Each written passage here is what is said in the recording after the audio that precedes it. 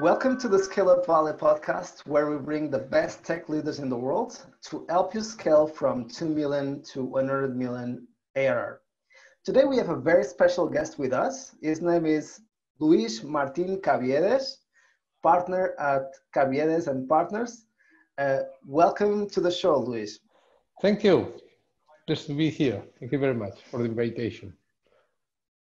So, Luis, you, you are a very well-known investor uh, in the European tech scene, uh, namely in the in the Spanish tech scene. You have invested in companies like BlaBlaCar, Tiendeo, Kantox, Clinic Point, Reclamador, uh, Detox, and some of the exits of the first generation of Spanish entrepreneurs, Privalia, Trovit, uh, Habitissimo. And mm-hmm you, you, you started in, I was already almost changing to, to Spanish. You started invested in already since 98 as a, as a private 90, investor. Yeah. And from uh, 2009 to, to today uh, onwards, you have been investing as a professional fund uh, through Cabiedes and, and partners. Oh. So uh, let, let us know a little bit more about, about yourself and how the passion for investment starts. Okay, well, thank you very much. Uh, it's um, okay. It's a longer story because I'm 60 already. So well, almost 60. I'm 59. not, not, not, quite 60. But anyway, let let's try to make it um, a little short. First, you know, I was one of those kind those kind of people that right from very young knew exactly what I wanted to do in life. You know, so I wanted to be an internet tech investor. So that's why I studied philosophy. I studied philosophy. So basically, which means that I had no clue what I would end up doing. So uh, uh, I, I, was so lost that I had to study philosophy to get some sort of meaning of, of what to do my, with my life. I, I, didn't know what to do. Well, anyway, I studied philosophy. I was very much interested in things which have, uh, in principle, don't seem to have too much to do with investing, but that I love, like, you know, the limits of knowledge and those kind of um, esoteric things. And then um, I did a, an MBA. You know, I figured that I, I loved philosophy, but I didn't want to make uh, a living out of philosophy. So I did an MBA here in this school that uh, that we are uh, talking now, which is IESE here in Barcelona. And here I learned business. You know, it was um, one of those very smart decisions, which is, you know, I need money, and the MBA sounds like money, so I need an MBA. So that, that's why I did an MBA. and then I did, you know, very technical, advanced things. Like I was in charge of typewriters. So I was the product manager for typewriters. You know, those clumsy things that used to write wow. in the in the 70s and in the 80s. Which means what, what I'm trying to convey is that I didn't know exactly what I would end up doing. Uh, and then I joined a, a, media company, a media company called Europa Press. It's a news agency here in Spain. So basically something between Uh, Reuters or Associated Press because we do have a lot of financial information, but we have a lot of political and general news information. So I joined this company and I had a wonderful career. In less than six months, I was made, named president of this company. Maybe it was because it was my father's company, but the truth is that I had a wonderful career and in six months I was already president there. I did join this company on the condition that I would only do new things. And this was in the late 80s. Uh, so in the late 80s, new things meant new media. So I was in mm-hmm. charge of launching television, and that's what I did for five years. And then in 1992, I got in contact with the internet. So my, uh, so basically, they, they, they, told me that they had invented this thing called the internet, and it was going to be very big for us as a news agency. And that's what I did. I did for the best part, part of the 90s. I was just trying to sell news to this new media, which was the internet media. By the end of that decade, uh, two funny things happened. One was that, you know, I thought that I, by then I knew a little bit about news or content in the internet. And second, that instead of clients uh, coming to my office to buy news from us, I started receiving visits from some funny people that call themselves entrepreneurs. And these people basically, it was very funny because, you know, I was used to, to sitting in front of a client and tell him, okay, you want my news? And, uh, uh, and they said, yes, but you have money. Okay, you give me money, I give you news. But then now you're sitting in front of new people. They say, we are an entrepreneur. And say, and they say, okay, we want your news. And say, okay, I have news. What? Um, no, but I only I want your news and I want your money. And wait, explain. so tell me a little bit more about this. Yeah, yeah, I want your news and I want your money to put it on the internet and make a good business out of it. I say, well, what do you have? They have some equity. And then uh, I, I, I thought that at that time I knew a little bit about what could make sense or not. and I started doing, well, okay, I'll give you news and I'll give you some money and see what happens. And uh, very, I was very, very lucky that I uh, uh, was uh, the first investor in Ole, which was like the Spanish Yahoo. And then Telefonica, which is the Spanish uh, telephone company here in Spain, yeah. had to buy Ole to, to do an IPO in Terra. And um, as a family or as a company in Europa Press, we made more money on that, on that uh, deal that we had made selling news for the last 25 years. Wow. So it was a wonderful deal financially. And then, you know, uh, as a family, we decided, you know what? I remember my father was still alive then, and he said, you know, he was a very smart man. you know what, please, from now on, forget about news and go and look for the next Ole. Go and look for the next startup in, in which we can invest and make this kind of returns. uh, and uh, that's what I've been doing since the 1998. Uh, so since 1998, I've been looking for the next Ole. And that's what I do. Uh, I have done that on different, different names, in the beginning or to see it was maybe a corporate VC because I did it with the company money. But then right. I started doing it personally, and then um, I thought I was, um, I didn't know what I was, but then I came to this school, to the IESE, and a professor told, told me that I was a business angel. And I didn't know what that meant. And, oh, very good. Now, now, now I know what I am. I have been doing it for five years, and now I have a name for it. So I have been a corporate VC, and then I was a business angel. And then um, uh, at some point, I started making also some investment uh, with my uh, sister and my mother's money. And then I was a family office. And then in, the, in 2009, uh, I decided to become a VC. Well, this is to say that I have been doing for over 25 years exactly the same thing until five different names. And now uh, they, some people call me a VC, uh, uh, an angel fund, sorry, sorry, angel fund, not a VC, an angel fund, which is half business angel, half half VC fund. Um, and that's what I am now. I'm half business angel. I am like, you know, like these mythological figures, like the centaur, which is half horse, half human. I'm half VC, half business angel. that, that's what I do. And I have made over 100 investments, one of some of them, the ones that you mentioned. And uh, if I'm lucky enough to get one of these good names like Privalia, like Trovit, like BlaBlaCar every five years, I hope I can be doing this, this for at least 20 more years. So basically, that, that that's me. I, I do internet B2C and um, yeah, under different names, always doing the same thing. I don't know if that gives you an idea of, uh, of where, where, I come from.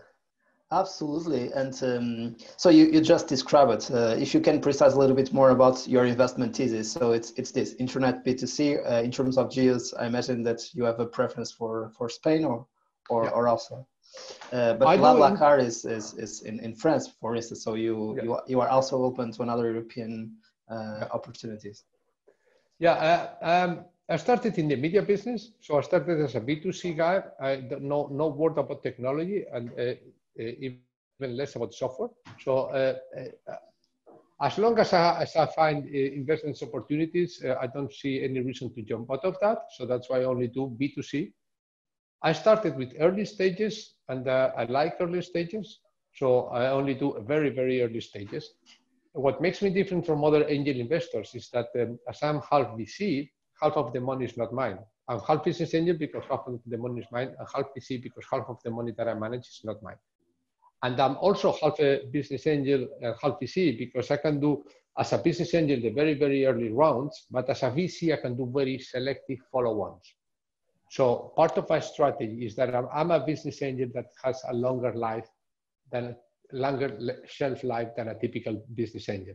So okay. my, my investment thesis is about getting in very early, but then building a sizable position that gets to 20% within the companies that, I, that uh, I see working before venture capital really comes in, at Series B or Series A. So I typically go to Series A eh, and sometimes even to Series B. Uh, that's in terms of a eh, stage and then sector, B2C, uh, stage very early to, to Series A, which some capacity to do some follow-on. And in terms of geography, I do uh, Madrid and Barcelona. Not only, no, I wouldn't even say Spain. I would, I would say Madrid and Barcelona. And if you, if you push me a little, I would say Paseo de la Castellana and Calle Diagonal plus minus 200 meters. Uh, uh, I'm, wow. I'm extremely, extremely local. This is something that, you know, every seed investor, very early stage investor is very, very local. There are a lot of reasons for that. One of them is that you you you you you are able to know an ecosystem, and then you can make better decisions because you, put yourself in put yourself in the feet of an investor. So a guy comes in, you don't know the guy, you don't know his business, he has basically proven nothing, and he's asking for money. So if you don't feel, if you cannot say, okay, but what have you done before? I, say, I have worked in this company. Oh, great, I know this guy. And then you can Absolutely. call and get some reference on this guy. And then if, if he's telling you that he is going to sell, I don't know, let's say he's going to sell uh, financial products in the internet, and he's going to it costs to, it's going to cost him one euro to acquire a customer. You can say this guy is crazy. But that's because I know the, the, I know the, the, where the, where the background of the guy. I can do some background checks. I know where he has worked. I know the kind of business. I, I know who he's going to compete with initially, uh, and uh, I can make a reasonable decision, investment decision. Now, instead of, of that, uh, put yourself. Uh, you go to Mexico, you go to Chile, or you go to San Francisco. You stand in front of an entrepreneur he tells you he has been working in five companies. You don't know anybody in those companies. You don't know right. what these companies do. You don't know who he's going to compete with. You don't know how much a, a client costs to acquire. You don't know how what's a, a, reasonable budget for an engineer. So how can you evaluate that? So when you are in the very early stages, you are typically, typically very local.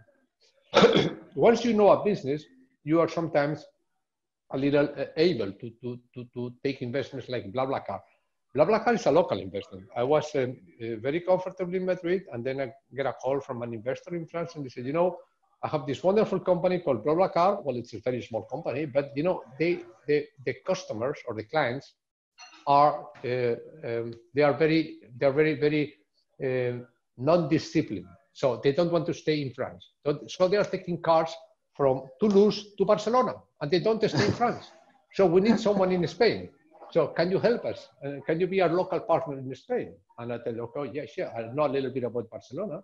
So uh, tell me a little bit of BlaBlaCar and I may be your local partner. But I will invest in the mother company. I will not invest in the subsidiary. Mm. So that's how I ended up in BlaBlaCar. So even in BlaBlaCar, which is a French company, I supplied a, a local angle and uh, it's still, a, in a sense, a local investment. It was because I knew, I knew a little bit about the Spanish ecosystem and of course, because I had some, let's say, good connections or good prestige outside Spain, and then I can get a call, which happens uh, sometimes. Happens. Uh, so I have companies in Germany, companies in, in Switzerland, companies in France, companies in Portugal, companies in UK, which basically an investor that I, that I trust, that I like, calls me and says, you know, we need a local angle. So I can provide a local angle. And then, uh, so I don't know if that this responds to. to, uh, absolutely, absolutely. Uh, we have other investors coming from the ecosystem. Some, some uh, you know uh, very well uh, the entire ecosystem. We had Gonzalo from Faraday in the show. -huh. Also Miguel Arias from Telefonica -huh. before at at Carto. also a private um, investor. not to talk about Isomer, AXA, and Capnamic in another um, markets uh, and more to to come. And and I like to ask because uh, until a certain moment or certain years ago or even months ago, uh, it was always the kind of the entrepreneur coming to the investor and kind of almost claiming for uh, please invest in me please invest in me what i what i need to do do i need to keep begging uh, to you every single day. I will show up and I will convince you that this is the idea, that this will be amazing. And, and nowadays we see uh, kind of the opposite. So the capital, uh, we have much more capital available and um, the deal flow, the very good invest, uh, the very good founders have a lot of demand to invest in them, which means that the, the, the, investors need to differentiate themselves, need to be much more professional, and need to be also very aggressive in the way, in the good sense of uh, yeah. trying to add value to the founders and being able to to um, to to have access to to those deals.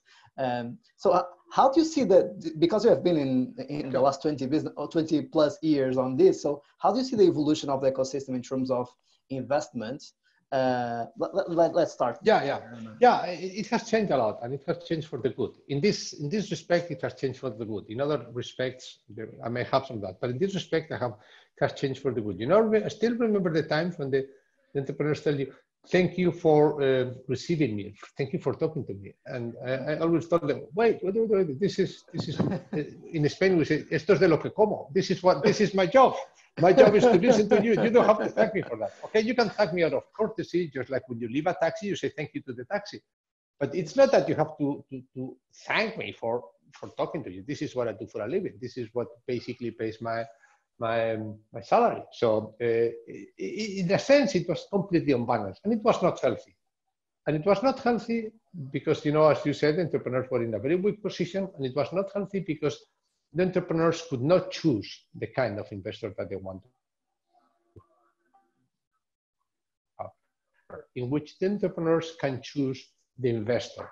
But it's not always the kind of, for the kind, let's say, it's not always for how much value you are going to add as an investor. It's for the kind of investors that you want. And that's dictated by your strategy. So now depending on the strategy, maybe you're an entrepreneur and say, you know, I want to, to, to, to be, you know, I want to go, I think my business requires, and my model of being an entrepreneur requires to have round after round, a lot of, raise a lot of money and grow, you know, very quickly and try to become a unicorn. And then maybe I'm not the investor for you.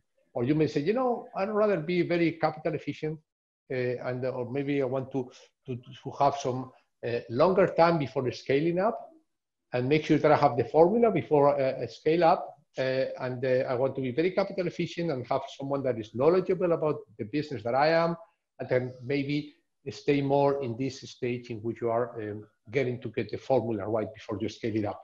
Then maybe Cabiedes is an investor for you.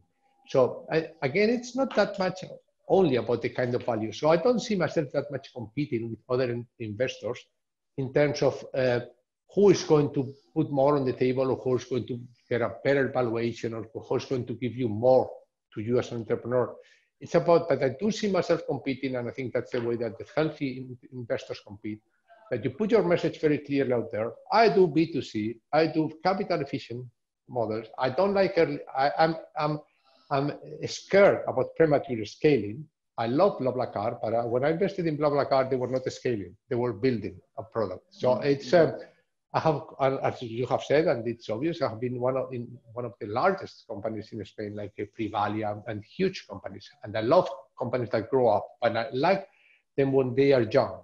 Um, uh, I sometimes tell entrepreneurs I'm a pediatrician, so I treat kids or, or young kids. I'm not, um, I'm not, I'm not a, you know, a, high performance sport doctor. Uh, right. uh, so that's for another people. So basically, again, it's about you have. You, I think that I'm compete with other investors in getting very clearly what I do, what I can offer, what I like, and then if you're an entrepreneur, you have, have the choice of what kind of strategy fits your product better, and that kind of strategy will dictate what kind of investors you want. Well, you know, mm-hmm. maybe 10 years ago, you wanted to have a, a, different strategy, but you still had to go to Cabiedes. And that was very, very bad because, you know, in the end, we would end up having a difference of opinion. So it's much better, to, you know, to, to get it from scratch that if you're going to go, if you are looking for someone who is going to supply bridge financing before a proper Series A, Cabiedes is not your guy. If you're saying, no, I want the money to prove that my, that my concept works, and they will go, of course. Uh, and uh, of course, in many of the companies that I have invested, I've had the best scale investors that you can think of, like Accel or whatever, a lot of them. But um, if what you want is, you know, I want to make sure that I have the model right, I want to test, I want to do some experiments, I want to, to, to be very efficient in for some time, and it's a B2C business, and I want to start it in Spain and Barcelona, and they will, of course, grow internationally. I, I love companies that are leading, like Tiendeo, which you mentioned, or Sobit, that are international leaders, but first started here. So again, it's about uh, entrepreneurs now having the choice of what kind of investors they want. Not that much about what who can give you a better valuation or who can maybe give you more presence or who can be pursuing you down the streets. It's about uh, okay, I think I I feel comfortable with this investor and I think I, I like, uh, or basically, or well, my my company needs this strategy, and this strategy needs this kind of investor. It.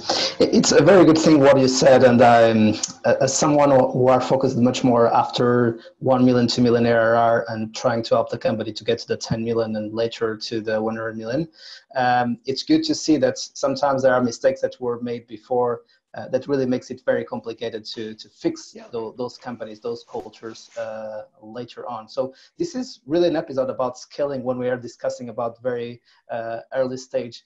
And um, something that we were discussing before we start uh, that I think it's really important. There's a, an, an article uh, from Battery Ventures, one of the partners, uh, Agrawal, sorry Agrawal if it is not mm-hmm. the correct name, mm-hmm. which says that after 2 million ARR, there are a set of very uh, outlier companies like Salesforce, Marketo, ServiceNow, who show a trend of tripling two times and doubling three times from 2 million to 6 to 18, triple two, and from 18 to 144, uh, doubling three times. So uh, this kind of growth nowadays, we, we, we can see entrepreneurs on, on both sides of, uh, of the coin. Entrepreneurs that are kind of super happy with a 50% uh, year on year growth and um, entrepreneurs with a 2x or 3x uh, were kind of or 2x let's say 2x were worried i don't i don't see uh, or i'm i'm sad because i didn't triple it this time and i don't see i will triple next mm-hmm. year so i don't have the strategy to go. Uh, not to talk about cash. Uh, but I have to turn the lights on because I have to move. I, I, stand. If I stand still, the lights turn on. Sorry, sorry. No, no, no. Yeah, yeah. You, you see, yeah. So uh, what you know, what do you think about this kind of pace of growth? You were saying that you you like uh, capital efficient uh, companies, uh, but again, if they are a correct fit for going to that kind of growth, what what do you think about that as an investor? Okay, first, uh, as I said, uh, I'm, I'm focused on very early stages. So the point is that you have to get to that stage in being able to grow. And if you, uh, you have to make, have made as many mistakes as possible before that. Because when you make a mistake and you're selling maybe 500,000 and you make a mistake with the, I don't know, with the uh, working capital, then maybe you are off by 80,000 and we can save you with 80,000. If you make that mistake when you are selling uh, 20 million, then your mistake is 5 million. And you know, it may not be funny. So I think that it's very important that you, that you, before growing at that, at that rate, that you, that you uh, really get your model right.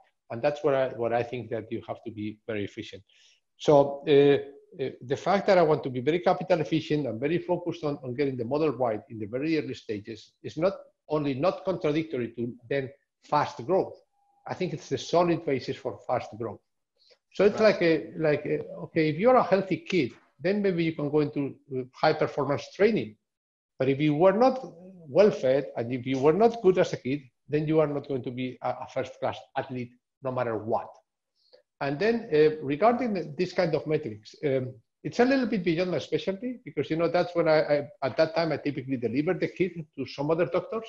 But uh, uh, uh the important message is that uh, you, you cannot follow uh, like uh, artificial um, uh, measures like this. So you only you know exactly at what pace your, your company can grow. And it's much better to have a healthy growth than to have like a forced growth. Because uh, one thing that I've learned in these 25 years is that you cannot accelerate market market uh, acceptance, so to speak. So uh, no matter how much money you spend, you are not going to increase your growth rate. You have to be able, you have to follow the market and you have to follow the market at the speed that you can, uh, that the market develops. And then the, the, it's, it's a little bit like, you know, it's, um, uh, uh, in the first stages of a startup, you are like pushing a, a rock up the mountain and that's very difficult because if you if you if you if you stop, then the, the rock will kill you. So that's the very early stages. But then you get to the hill.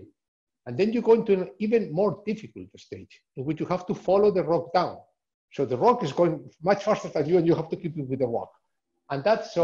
One thing to say here is that the, uh, it's not about you know uh, saying that you have to grow three times, but then if you grow 2.7, you are wrong, and uh, um, or saying that you know if you are, uh, if you grow two times, then you are, you are done. No, it's about you have to know exactly where your company is, and you have to be very aggressive on your of your on your goals. But you have they have to me, make sense to the market you are, because otherwise, what you are doing is just basically pushing a rock um, down when it, when the market does not accept it. So getting to the kind of, of growth that the market asks of you is very, very, very sensible it's a very, very difficult decision. And that's something that I think only the entrepreneurs can do, and that is very particular to each company. Uh, so it's very good to have, you know, these benchmarks because then they can tell you of, you know, what kind of, what is the, the best practices. But uh, you have to be sensible enough and adapted to your company, which does not mean by any, by any, by, uh, any measure that you have to, to lower your ambitions. But you know, you say, well, you know, I think that the market allows me to grow uh, at this at this rate. And then you have a lot of very successful companies, and I have seen a lot of very successful companies that instead of this kind of two two times uh, three and three times two are like 10%, 10%, 10%, 10%, and then five times, 10 times, 11 times, 100 times. So because you know that that also happens, in which you are basically you have to to, to go expo- if you go in exponential growth, you even Absolutely. multiples don't even make sense. You multiply by, by no matter what. So there are, there are, of course, again, there are very good, uh, it's very good to know what kind of, what are the best practices, but you have to also know that you have to, to build something that can scale and then follow the market and make sure that you don't overspend trying to make the market go faster. You cannot push um, uh, a, a, a, horse. So you have to know at what speed this horse can go. You cannot just uh, step down from the horse and try to push him because you're, you're going to be kicked. So uh, the market goes at its own speed. Absolutely. Uh, on the show, we always cover three main pillars that we consider is are critical to to scale. Uh, number one is the team. Number two is focus or strategy. Number three, it's all about communication, execution, rhythms. Uh, and we are now discussing a little bit of the second topic, which is focus, uh, strategy. So how will we grow at this kind of stage of uh, kind of pace of growth? And what is, as you said, the ideal ideal pace of growth um, for our um, journey?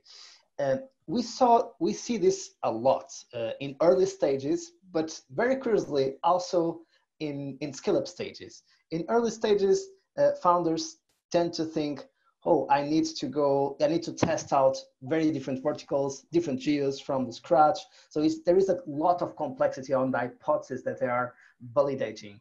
On the scale up stages, the same. If I need to double or triple, I need to open five markets. I need to open five verticals. I need to launch another three products. And it creates a mess that will slow down uh, the growth of the company. So how do we help uh, those founders? And of course, as you said, they are the best drivers of their companies. They understand uh, better than nobody uh, what they are in. Uh, and what we are trying to do is to support them to be self-aware uh, and to be aware that they are not trying to do too much because a lot of companies hmm. die from implosion, not from or from not from starvation. Uh, yeah. So how how do you help your entrepreneurs to just go step by step? I think that, of course, you mentioned it's very important the, the team and it's very important the, the, implementation, but it's very important the model. So, I mean, if, you go to, to, to the beach and you see these kids playing with the with the buckets, no, uh, so you have you, once you have the, the right shape, you can do a mul multiple castles, but you have to have the right the right bucket. So you have to have the have the, the, the good mold. Um, I think that, uh, for example, in terms of internationalization, which is key because when you come from a market which is not going to support many hundred million companies, if you want to go to 100 million, you eh, you inevitably are going to do have to do internationalization. Mm-hmm. But uh, before you go international, you have to make sure that you have the formula right, because otherwise, what you are doing is just uh, uh, copying or, or self-replicating a failed model. And a failed model seven times is seven times failure. It's not a success. So you have, I think that my message is, is about uh, what I try to help them, of course, in the very early stages, or what I, well, not to help them, what I try to, to look at is to make sure that they have a model that can be replicated. And then, of course, it will have to be adapted. But you have to know exactly what are the, the, the, the, the, the keys of your business. What your, what your, what kind of city you should attack? How many people should be in that city? How do you attack that city? So if you look at companies like, for example, BlaBlaCar, which has been an international rollout, which, which was incredible. One of the things that was wonderful is that they had a formula. So basically, they could say, okay, we go to a country, we look at the, what are the, the towns which have a, this much, um, this much uh, uh, population and that, that are poorly served by trains and buses. And then we pick a very specific, uh, uh, very specific track from one destination to the other. And then we put all the resources in that. And then we go from that let's say we do Valencia Barcelona, and then we do Barcelona Bilbao, and then we do Bilbao Zaragoza, and then we do Bar Zaragoza Madrid. Extremely smart uh, rollout in which you learn in, in, your home country typically, and then you, you, you get to the formula, and then once you have the formula, you can apply it but only once you have the formula. So that's why I think the most important thing, and it's not that much that I try to help, but what I try to recognize and to to, to, to see because my, I'm an investor, I'm not an entrepreneur. I don't run companies. I just try to, to make sure that the, that the got there is that, okay, I think now we have a, formula, a formula that is scalable. You mentioned Trovit. Trovit was wonderful. Trovit had a perfect model. So basically you see, you saw it was leading in, I don't know how many countries, like 25 countries, and they were all sitting in Barcelona. So you went to the office and you see a lot of young people with a flag uh, uh, which represented the country in which they were working. And they were given a formula. Okay, you have to first call this and these people, and then you have to tell them this. And then you have to, and of course, then you will have creativity on top of that. But you have a formula. Like all the companies that I have I, I happen to work, uh, as I mentioned, in typewriters in the very old times. And we didn't have a formula. So you call a salesman and you tell him exactly this is how you sell to typewriters. So you go to the city, you you find the list of the not, public notaries. The public notaries are listed in this kind of registry. You call them on Tuesday because that's the way they, they are not busy, and you visit them on Wednesday. And then you ask for the secretary. And then your secretary, you tell him that this is the only typewriter that can. So now you, you can put a sales force in the, in the street. And then they can really blanket a, a country in maybe two years. But it's because you have, you have the formula. So again, yeah, I think that that's, it's very important that you get uh, before scaling up that you get a formula that you know that you can scale and that you can grow. So basically, I was talking yesterday to an entrepreneur. I said, "You have a wonderful business, but uh, you don't have a, um, a growing uh, a growth machine. If you don't have a growth machine, you cannot grow." So uh, yeah, because you know we, we do this based on PR. The problem is that you cannot scale PR. So if you you have a salespeople, you can scale salespeople. You have performance marketing, you can scale performance. You have virality, you can scale virality. But you cannot escape PR, scale PR. So you don't have a formula. Don't go outside because uh, don't go to other countries because uh, you're going to have, uh, if, if, you have been very successful with PR here, you're going to get a shot, but that's, not, that's going to take you to the next two months and then what? So let's go back to the lab and let's see if we can find a growth engine those kind of things I think are key. And once you have the growth engine, you just what, what I call in Spanish la máquina de churros, which is basically a machine in which you put flour and then you get churros. Okay, so it's uh, very Spanish, but but you have a machine. So you put here a lot of money and then you get pop, pop, pop, out sausages. But if you don't have a machine, no matter how much meat you put, you're not going to get sausages.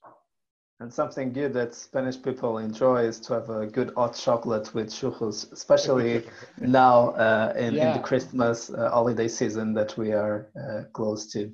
And something that is very related, and usually when I when I'm doing kind of the exercises of reverse engineering about what we want to be in five or seven years, the next three, uh, until the milestones we want to achieve for the next funding round and what will be the next year and the next quarter and, and coming back instead of going forward uh, yeah. linearly um, there, there is always a, a, lot of confusion and sometimes worries about especially when rounds are between 12 and uh, 18 months um, cycles uh, nowadays of being not so ambitious uh, and that they are not putting all the weapons uh, and using the cash in an efficient way to be able to double or triple the business.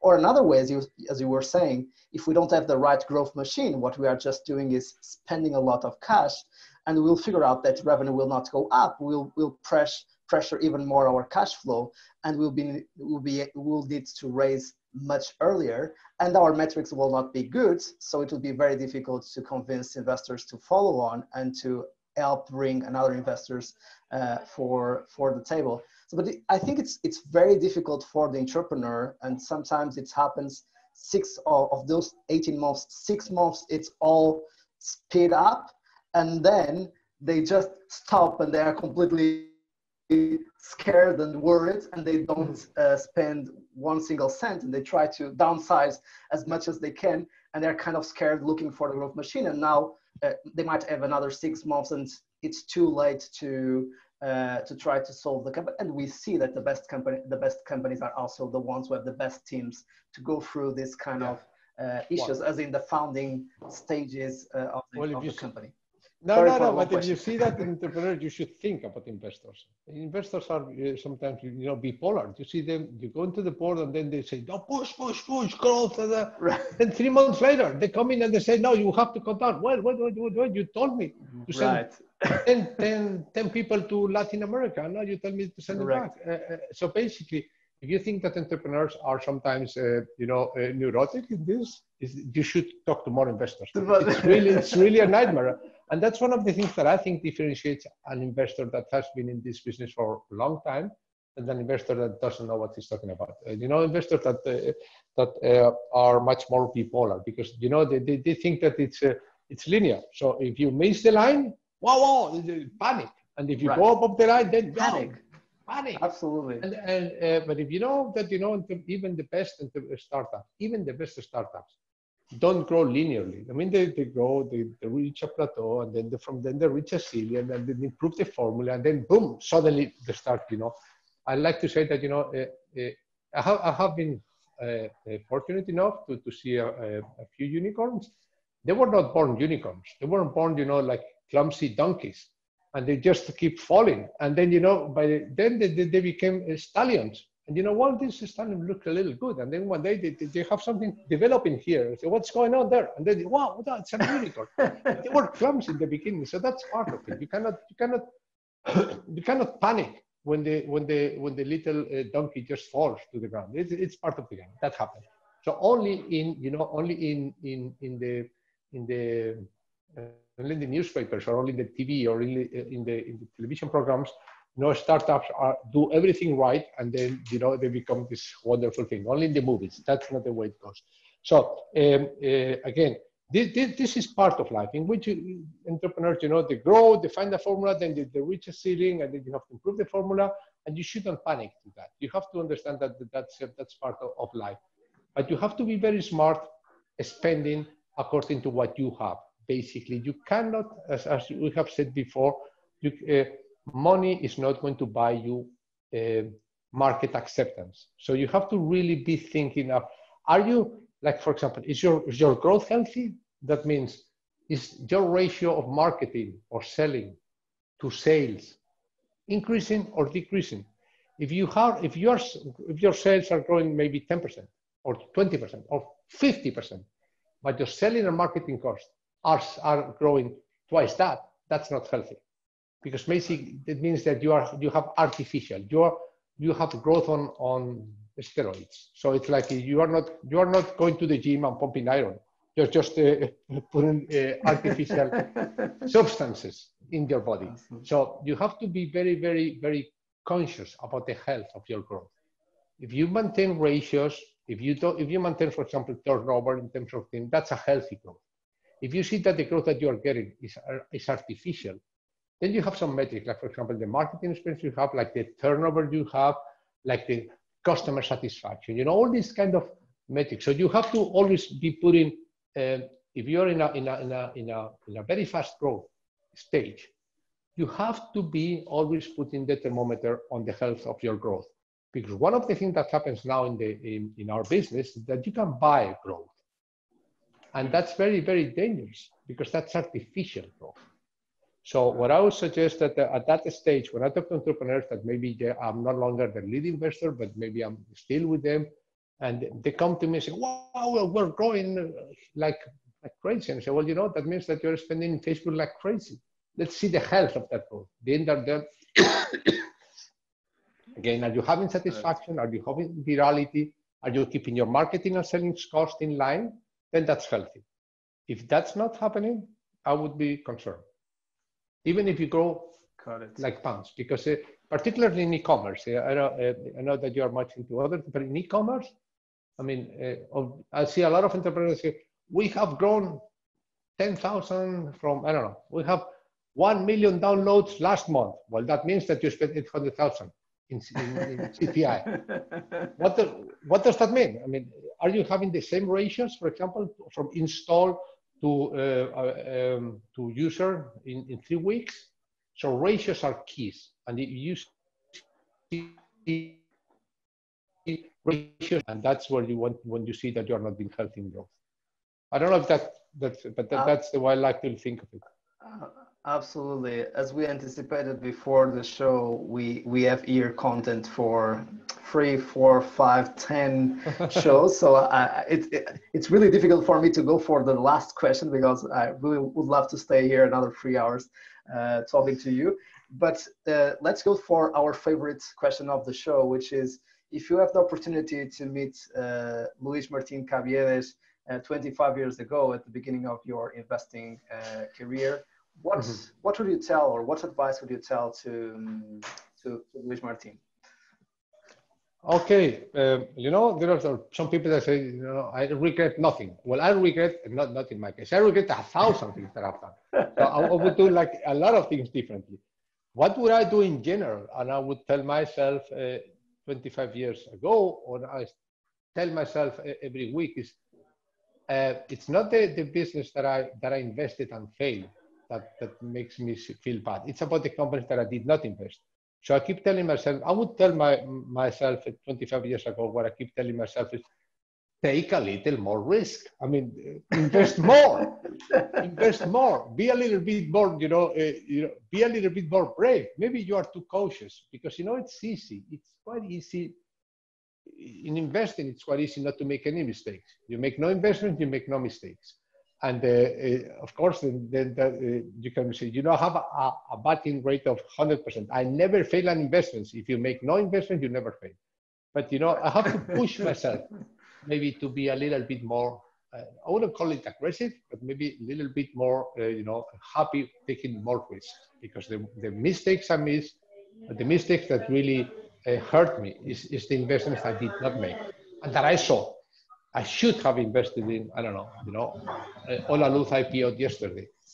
I could have invested in Holaluz. I should have invested in Holaluz. I should have invested in so many companies in, in Spain that I have met and that I just, maybe I was too risk uh, aware. And maybe I should be a little bit more on the full side and not being this rational and being so financial. So maybe I, I, I would do a little bit more locuras I maybe do a little bit more.